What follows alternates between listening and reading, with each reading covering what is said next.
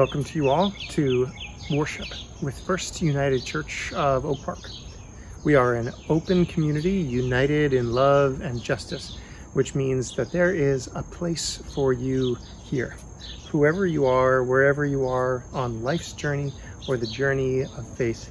For here we proclaim a God who loves all. So welcome to you if you are feeling lost in these days. For here we proclaim God who seeks and finds the lost. Welcome to you if you are feeling lonely. For here we proclaim a God who is beside us always, standing with us in times of need.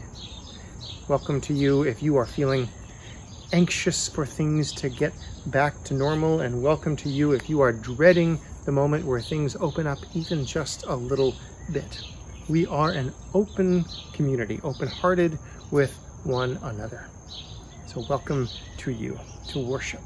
We hope that this time feeds your spirit and that you know God in this time as close as your own breath.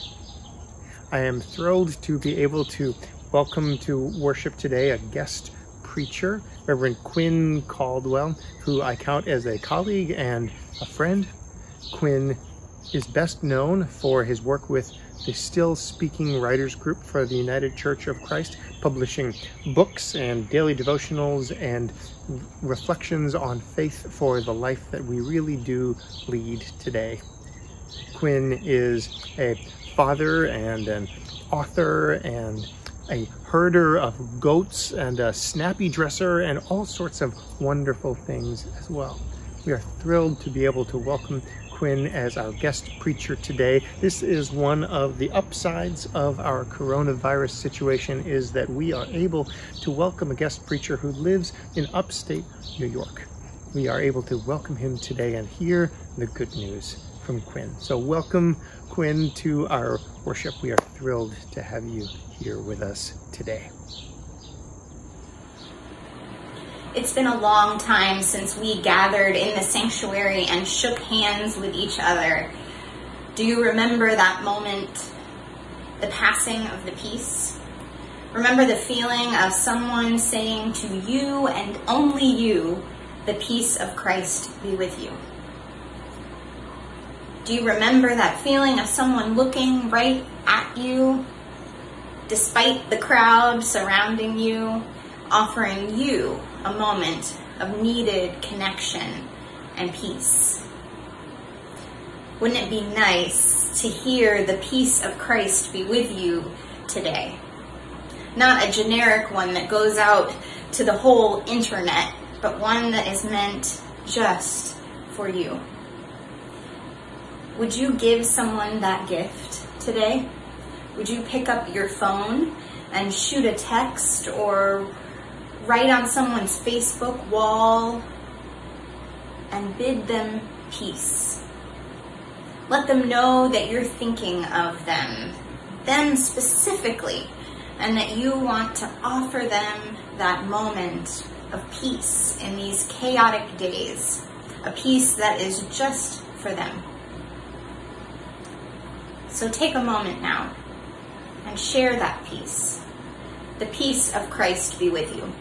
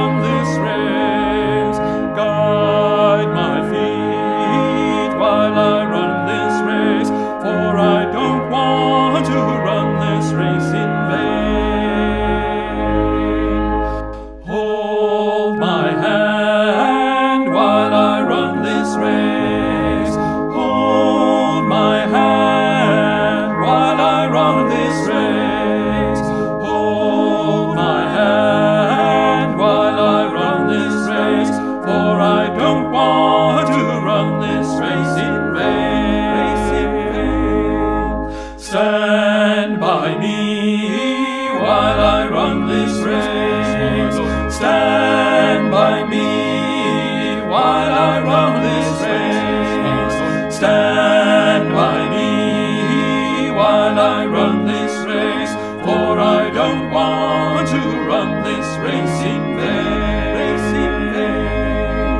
I'm your child.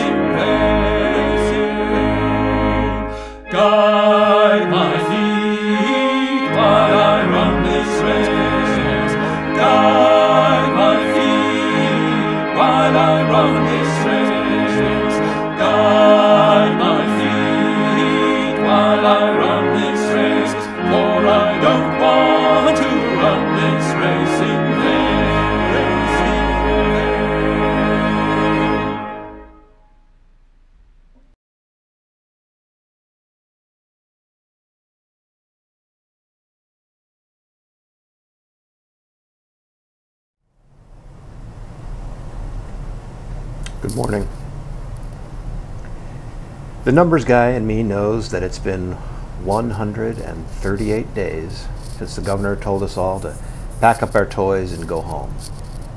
I begrudgingly relocated my work toys from a nice sunny office with a big desk to a card table in my basement, and I was angry about it. I've always hated working at home. I like a clean separation between my work world and the rest of my life. That clear boundary was impossible thanks to the governor. Then the Paycheck Protection Program came around. This was a huge development for me and for my clients. Now I was grumpy and overworked. What else arrived unwelcome with the pandemic? Couldn't go to the gym anymore. Used to go four or five times a week. No more creative cooking for large family Friday night dinners. Just cooking for two. Couldn't see my mom. She's in a retirement community in Ohio. Couldn't go to church. The couldn't do this and no more of that. That list goes on for quite a while. So here's a peek inside my head. My brain organizes a schedule and agenda for each day. Most days, this agenda remains a closely held secret to everyone but myself. So when colleagues or friends or family want to do something that isn't scheduled on my personal agenda, I have to get past feeling upset that someone else has intruded into my carefully cultivated but never announced plans. It's a constant litany of, why are you making me do something spontaneous and outside of my plans? I know, I know life is what happens when you make other plans. But those first weeks of shelter in place were a bumpy ride with a lot of self pity and whining. Fast forward to the first week of August, four months later. Biggest takeaway so far? When life gives you lemons, make lemonade. And thank God for the ability to transform the sour into the sweet. Currently, I'm enjoying working from home. It helps a lot that my best friend, my wife, is also working from home. I've spent more time face to face with my kids, albeit it's over Zoom, than I have in years. I've developed a meditation habit, something that had been on my bucket list for decades. I'm sleeping better than I did before. I can't explain it, but I'll take it. I'm still cooking for others, only now it gets wrapped up in foil and shipped off to other houses for consumption. I'm still going to church. It's YouTube, but it's definitely church. I'm embarrassed to admit that once again the pandemic has forced me to relearn some familiar lessons. Gratitude makes a difference. Everything's not about me. And one person's upset apple cart is another person's shiny new toy. When we emerge on the other side of this pandemic, I hope to continue to work from home, at least some of the time. Continue to notice all the half full glasses, continue to worship with you at First United. Please join me in prayer. God, help us see the places where your abundance lives. Help us direct our energies to serve others. Help us live as accomplices for justice. Help us endure this crazy, blurry, hectic 2020 with grace, compassion, and humor.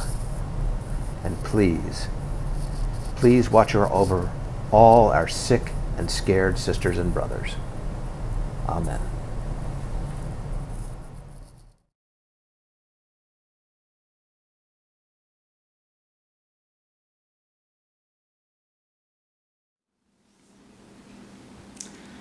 Hello, how are you all doing today? I hope you are doing well, and I'm so glad that you are here with me today. I wanted to show you some things that have been um, collecting near my front door, and I wonder if some of these things are collecting near your front door, or if your parents are carrying them around all the time, or if you have them in your backpack, or something. So if you look at my front table, there's a box much like this one, but I just grabbed a few things off of it.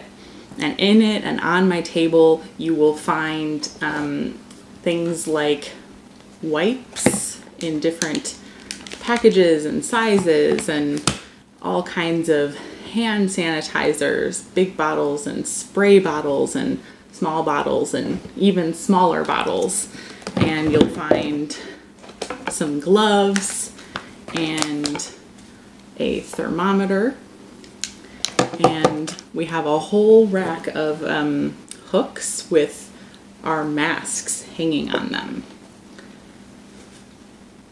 And I, I actually love my masks. I love the colors and everything. These are some of my favorite colors and I love the rainbow. So I'm sure you have a lot of these things at your house and part of your everyday life these days. And the reason we have all of these things is to make sure that our hands are clean, right? And to make sure we get all the bacteria off and to protect ourselves. That's why we wear masks, um, to keep ourselves healthy and the people that we love healthy. And it, it feels like we have these all, all these kinds of rules and things that we're following if we're leaving our house, if we're going anywhere. Um, and this has become a really big part of our lives because it, it is important. Um, but it, it has it didn't always used to be this way. And I was thinking about our scripture today and how back in Jesus' time, they had all kinds of rules about things that they um, should or shouldn't do, or ways that they needed to clean themselves or their hands before they could eat or interact with people just like how we're having these rules right now. Um, and they had these because it was super important to them to be clean and to be pure um, before God and to um, have these ways of uh, interacting with one another that were um, healthy and safe. But in our scripture today, um, Jesus is talking to his disciples and he says something very interesting and something very strange to them he's talking about how it's not the most important thing to have your outsides be clean as much as it is your insides. What does that mean? How do we clean our insides? Or how do we make sure they're clean? Or what does that mean? It seems a very silly, strange thing. But what he means is it's not as important to make sure that um, our hands are clean if we're not going to be able to say nice things and be kind and loving to one another. It is very important right now in this time of COVID that we are using our hand sanitizers and our masks and everything that we can to be healthy and safe and keep our loved ones and our brothers and sisters and siblings healthy and safe. But a lot of that won't mean much if we're not able to be kind and loving to one another.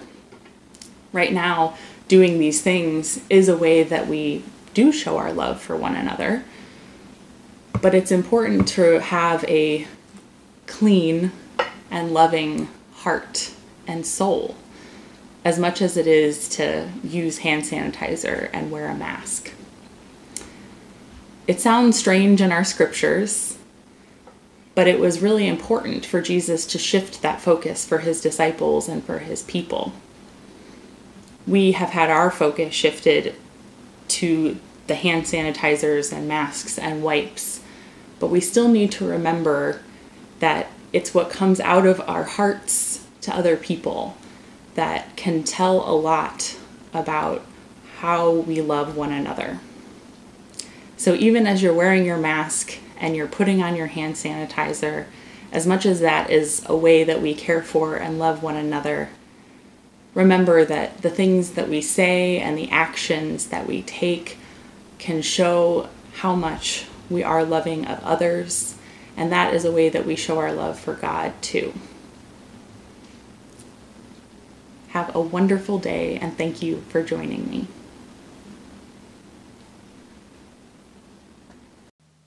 Listen now for the word of God in the Gospel according to Matthew, chapter 15.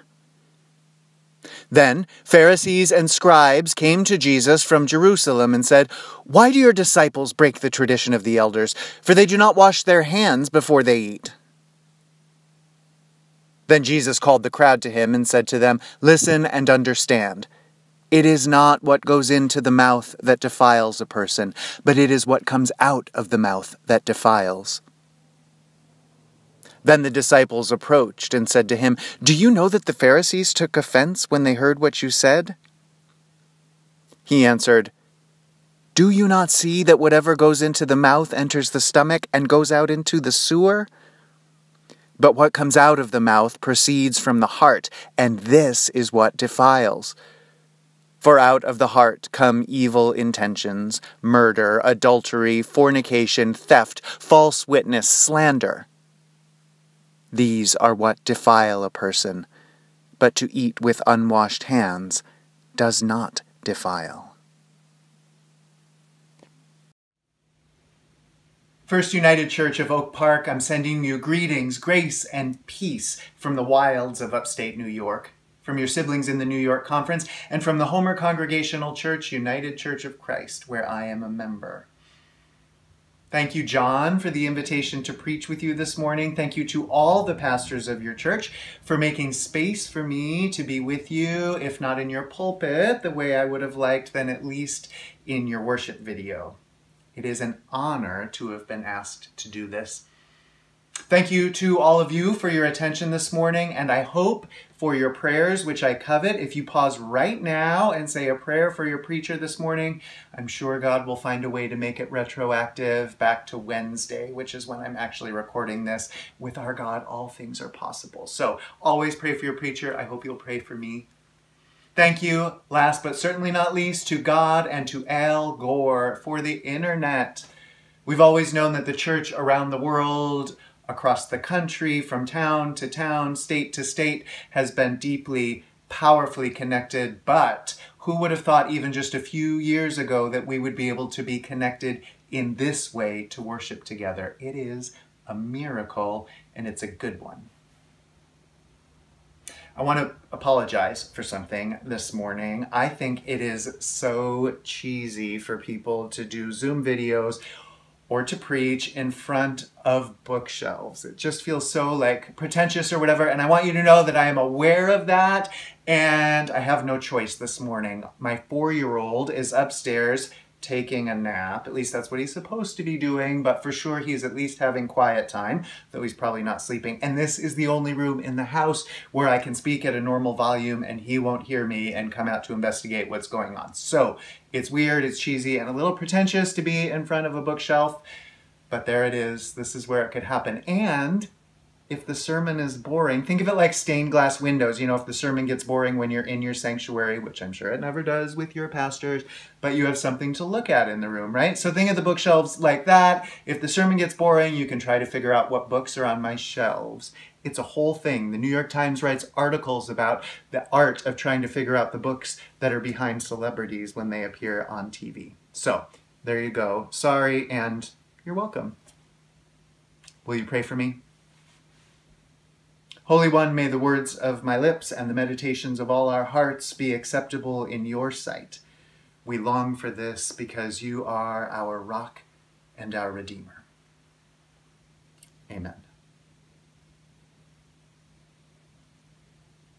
So, I used to, and when I say used to, I mean like pre 2020, I used to have this whole rant that I did about hand sanitizer. I hate it.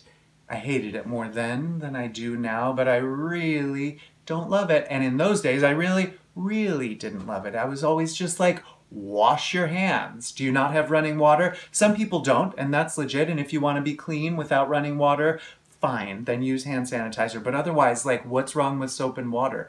That's the better thing to do anyway. I was aware that not only were there people that didn't have running water, and that's real. There are also people who are immunocompromised or immunosuppressed, and that's real, and they may be using hand sanitizer for that reason. Fine. But I also just felt like Purell and the people who used to have those um, cart sanitizer wipes when you go into every store, I just felt like they were selling us a bill of goods. They were like tricking us into buying their product. The world is not that dirty, I would say. I was also aware that things are different in healthcare settings, that people who work in hospitals and nursing homes and places like that need to keep their hands clean in a different way. So, in the midst of this whole long rant about hand sanitizer and how dumb it is and what a waste it is, I would always be careful to say, but there are people like doctors who need to use it to keep their hands clean. However, you are not a doctor. Well, you might be, but the rest of the people, you're not doctors, I would say. They just don't need to be that clean. And by the way, they're not actually that clean when you use hand sanitizer. You just kill the bugs on your hands and leave their little carcasses there. They're not that clean. So this whole rant, on and on and on, that I would go on. And then you know what happened.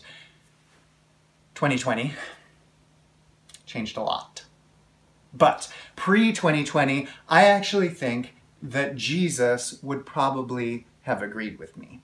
It's actually my lived experience that Jesus and I agree on most things. Take the story from today's scripture, right?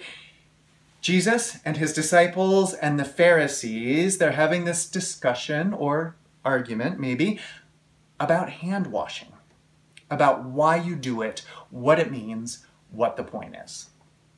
The Pharisees come to Jesus one day and say, Why aren't your disciples washing their hands before they eat? And Jesus responds with this big long thing about what's clean and what's not, what makes you clean and what doesn't make you clean or unclean. He makes the famous poop joke. Isn't it good to have a savior that can make a poop joke once in a while about what goes in your mouth goes into the sewer? It's great. But the argument they're having, right, is about cleaning your hands. Why you would do it, why you wouldn't do it when it's necessary and when it's not necessary. And it is easy if you have been a Christian your whole life and haven't looked too deeply into the background of the New Testament, it is easy to make the Pharisees villains in this story. Not least because it seems that the gospel writers mostly wanted them to be villains. But the Pharisees are more complicated, more complex, more diverse, and maybe better than our Bible wants us to believe. So, a word about Pharisees. They were, in first century Judaism, one of a number of groups who were talking about how best to be Jews in the world, how best to be the people of God in the world. Pharisees were not monolithic. They had conversations, arguments, and debates within Phariseeism itself, as well as with other Jews in the world. Jesus may or may not have lined up with one of those groups, but for sure he spent a lot of time with Pharisees. He argues a fair amount with them in the Bible. He calls them names they come to him by night. He eats with them. They provide for him and his followers after his death. The Pharisees are around Jesus, or he's around them a lot. It might be worth wondering why someday.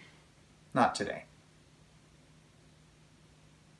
The Pharisees had a lot of beliefs, a lot of arguments they made about the nature of things and how best to be God's people in the world. But one of the things they seemed to believe in, one of the projects they were working on, was the idea of making a nation of priests.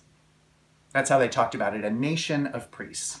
Now remember, first century Judaism, we're in the neighborhood of Jerusalem, and in Jerusalem is the temple, which is the center of the center of everything for most Jews. Everybody was supposed to try to make it there periodically because there in the temple were priests. And the priests there did what priests in every time and place do in their various ways. They acted as bridges as interlocutors, as intermediaries, and as advocates, connecting heaven and earth. If there's a bridge between heaven and earth, the plinth that it rested on on the earthly side was right there in the temple, and it was these priests doing their job there in the temple that made it possible for the prayers and concerns of the people to rise heavenward and the word of God to trickle down earthward.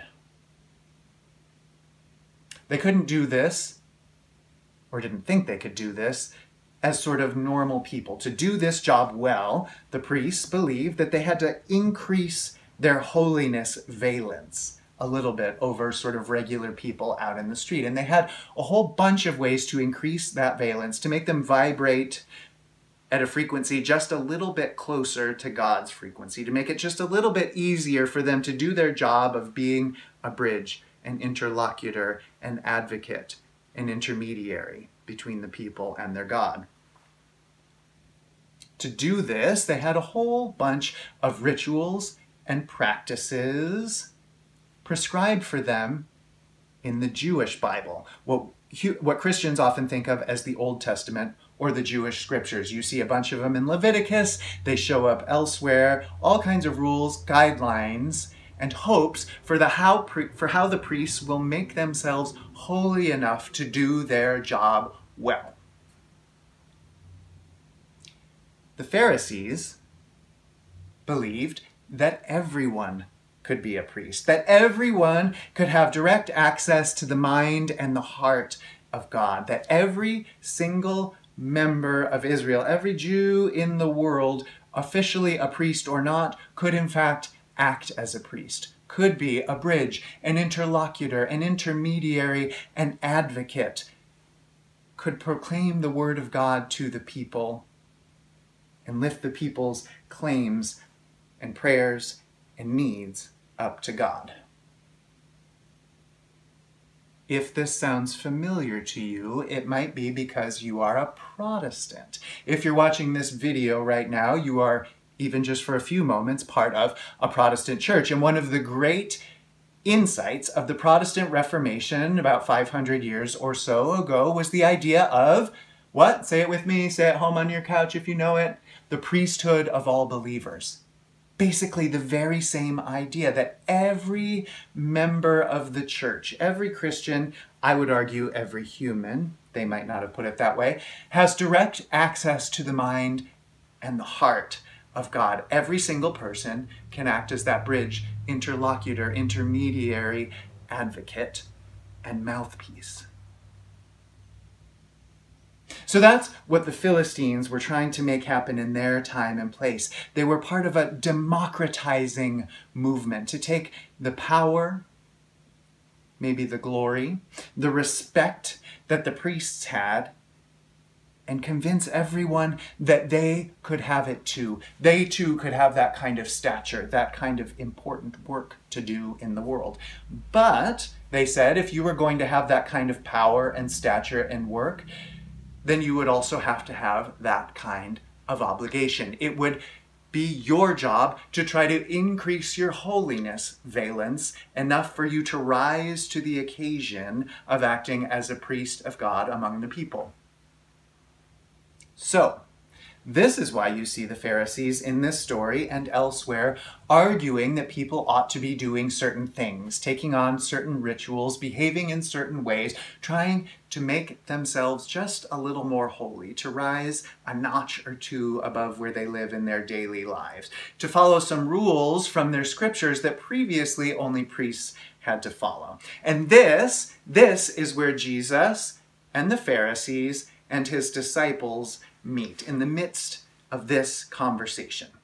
He points out that the hand washing that they're talking about matters as a symbol for sure. Today we know that it matters for literal cleanliness and literal salvation as well, but he's saying, you know, it's a symbol, and if, if you want to do that, that's fine, but you can actually increase your holiness valence. You can get in touch with God in other ways too. So if people don't want to wash their hands, it's not a big deal. Let's focus on what really matters, says Jesus.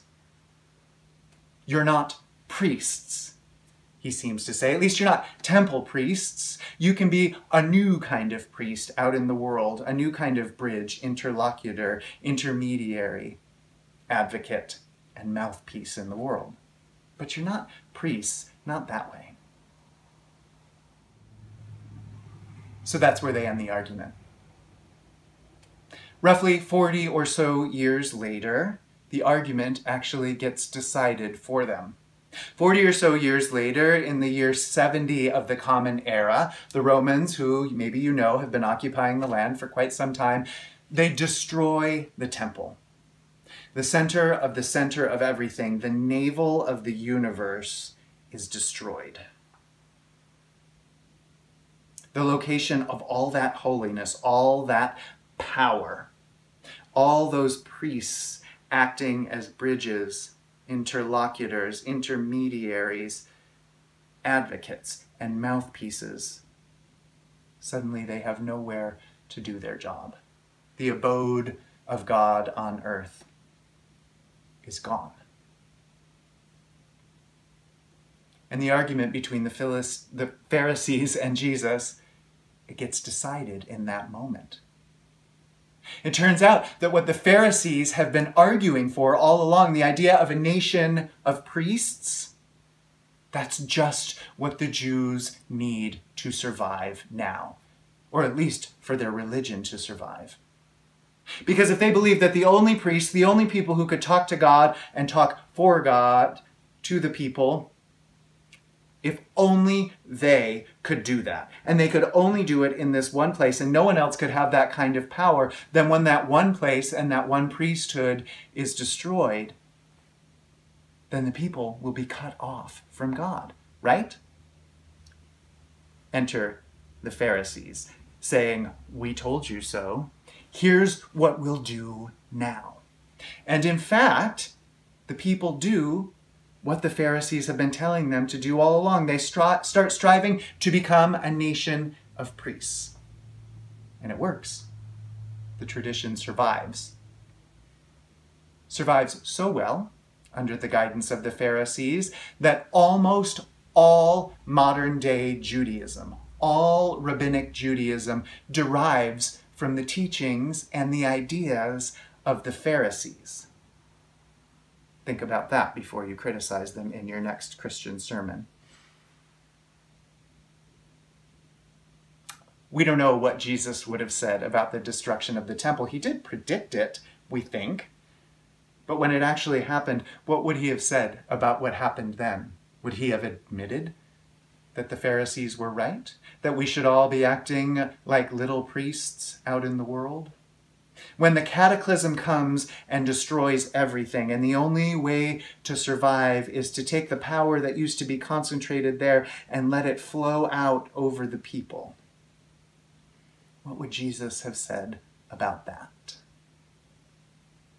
And what would he have said not only about the power that overcame the people and raised them to new estate, what would he have said about their obligations as well? We don't know. We do know this. When they destroyed the temple that was Jesus' body, the location that for Christians would become the center of the center of everything, the navel of the universe. When our great high priest was destroyed, when Christ himself was broken on the cross all the power that was in him flowed out and overtook the people.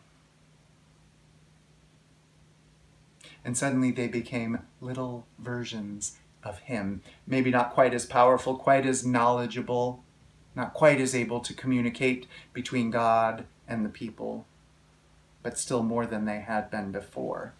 They became little Jesuses, or, if you prefer, they became Christians, which literally means little Christs. Taking on not only his power and his estate, but his responsibilities as well.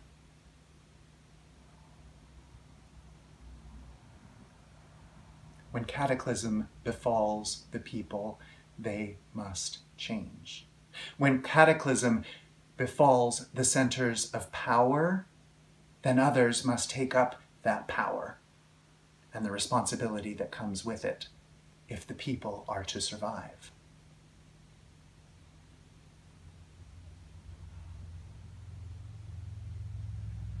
Back in 2019 and before, I had this whole rant about hand sanitizer.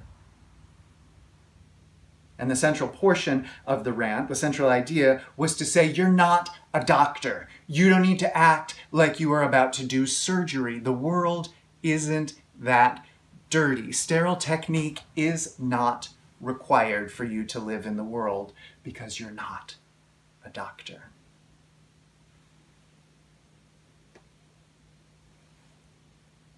Then 2020 happened. A cataclysm, if there ever was one, or at least it feels like it to me. Then 2020 happened with SARS CoV 2 and COVID, and everything changed, including my mind. And here's how it is now people who never used to wear gloves to go grocery shopping now they need to. People who never used to use hand sanitizer, except maybe to remove pine pitch from their hands, it works great for that, by the way, now we do. People who never before in their lives wore a surgical mask, now we do, just to take the dog for a walk. We're not doctors, but suddenly we are required to, and we ought to be, acting like little doctors, little healthcare professionals out in the world, as careful of contagion, as careful of getting other people sick, not just of ourselves getting sick, but of getting other people sick as doctors and nurses in hospitals are.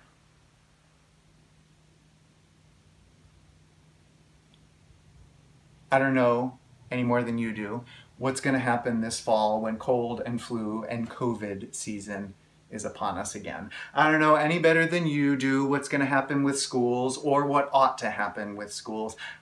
I don't know any better than you do. But I know this First United Church of Oak Park. You who are trying to figure out how to find a little peace and a little centeredness and maybe a little hope in the world going forward from here.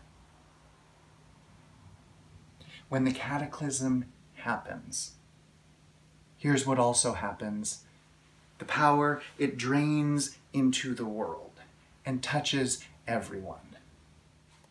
The power of the temple drains out and overwhelms the people, or probably more likely, it is revealed to be where it always was with the people, and suddenly there is a nation of little priests, and it is the thing that allows the people and their religion to survive beyond the cataclysm.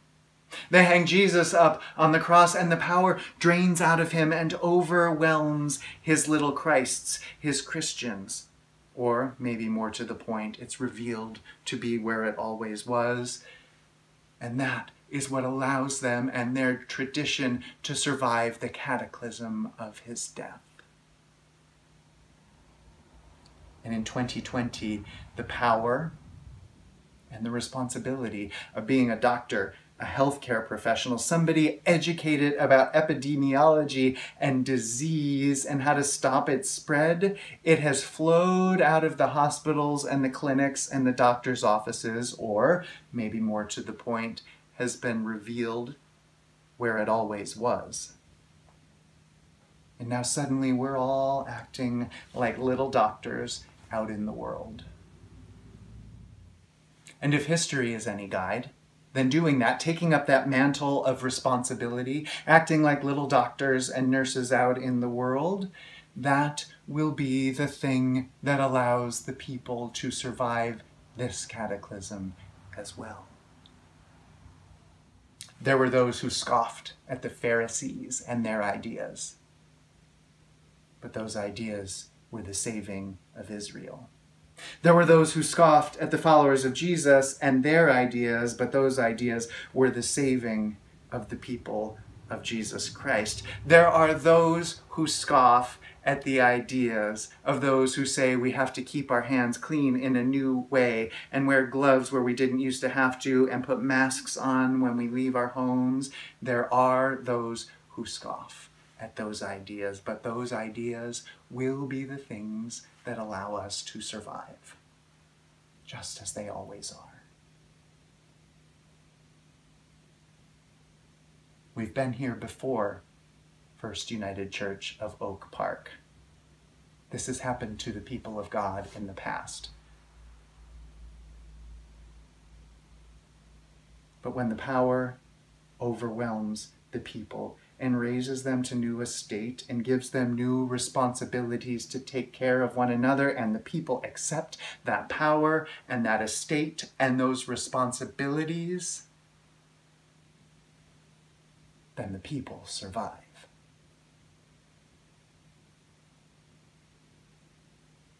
So may it be.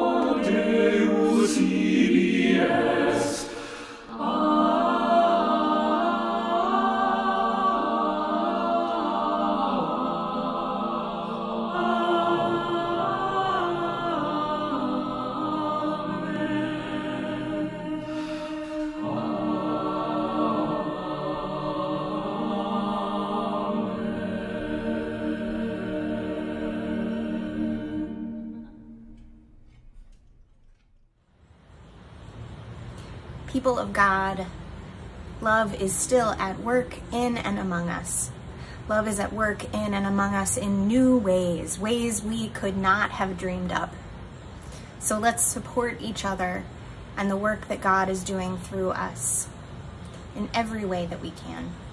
Please take a moment now to consider what you can give financially and go to firstunitedoakpark.com slash give or text First United and the amount to 73256. May God bless our gifts, and may God bless you as you give.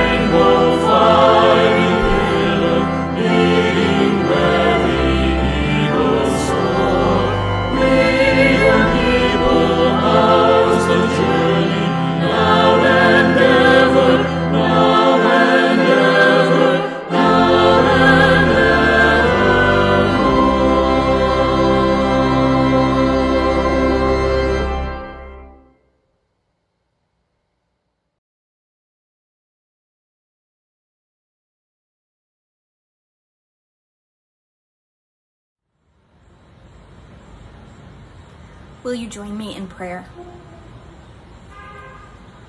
Holy One, when the world around us shifts, when we are struggling to adjust, when we find ourselves in roles we never expected to fill, remind us of your faithfulness in each and every cataclysmic event faced by your people throughout all of history.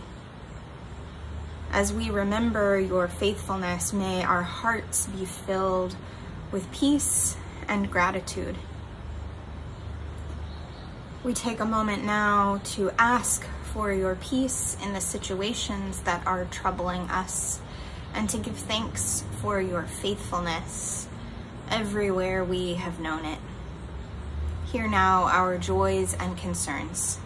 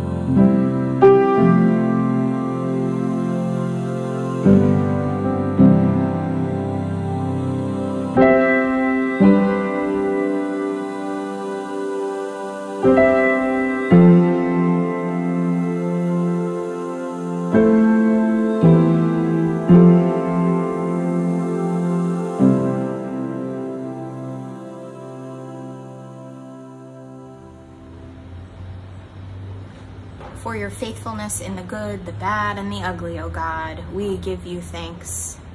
May you find us faithful to you. May we become little Christs, continuing the work that must be done, not just by that one great teacher and example, but by all of us as we learn and follow and pray as he did, saying, Our Creator, our Mother, and our Father, who art in heaven, hallowed be thy name. Thy kingdom come, thy will be done, on earth as it is in heaven. Give us this day our daily bread, and forgive us our debts as we forgive our debtors. And lead us not into temptation, but deliver us from evil. For thine is the kingdom, and the power, and the glory forever. Amen.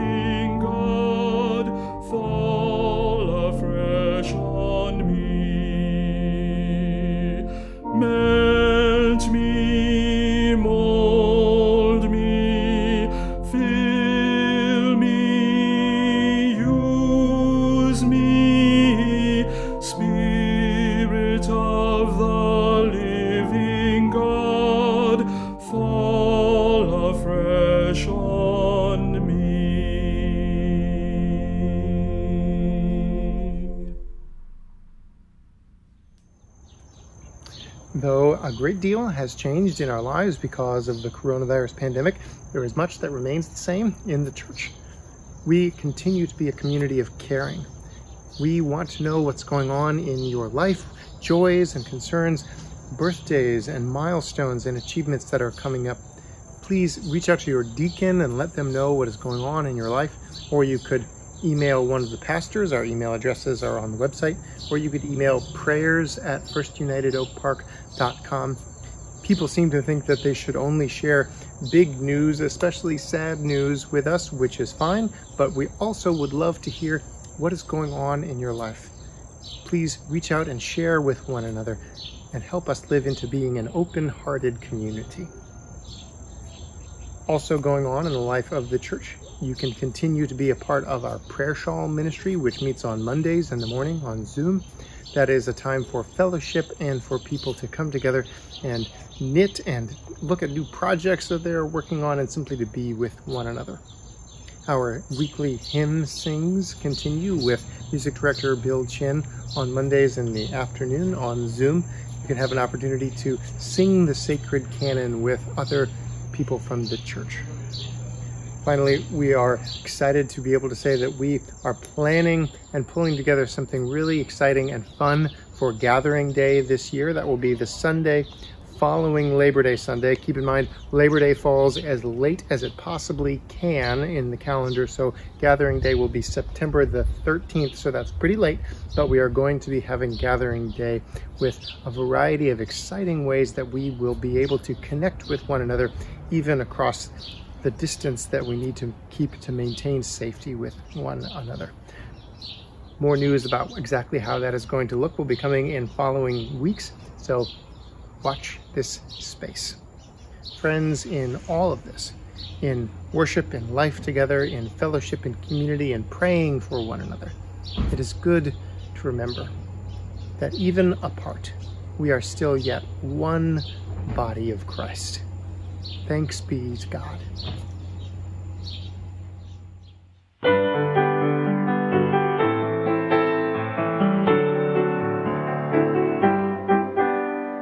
May the God of hope go with us every day, filling all our lives with love and joy and peace.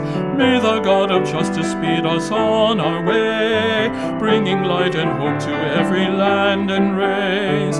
Praying, let us work for peace, singing, share our joy with all, working for a world that's new, faithful when we hear Christ's call. Dios de la esperanza, danos gozo y paz. Al mundo en crisis habla tu verdad. Dios de la justicia, mándanos tu luz. Luz y esperanza en la oscuridad. Oremos por la paz. Cantemos de tu amor. Luchemos por la paz. Fieles a ti, Señor. May the God of hope go with us every day, filling all our lives with love and joy and peace. May the God of justice speed us on our way, bringing light and hope to every land and race. Praying, let us work for peace, singing, share our joy with all, working for a world that's new, faithful when we hear Christ call.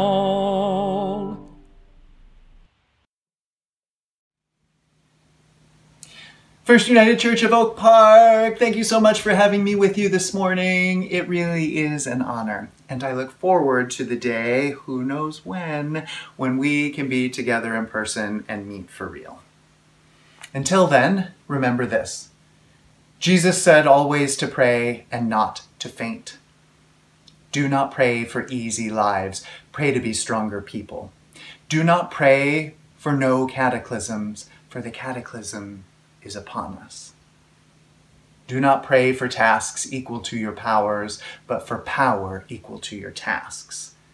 Then the doing of your work will be no miracle, you will be the miracle, and every day you will wonder at the beauty of life that has come to you in Jesus Christ.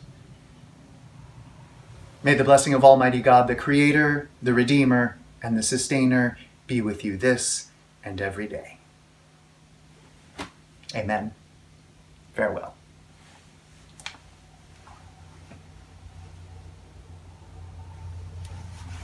And one more thing Hi, Sue S. I love you too. God be with you.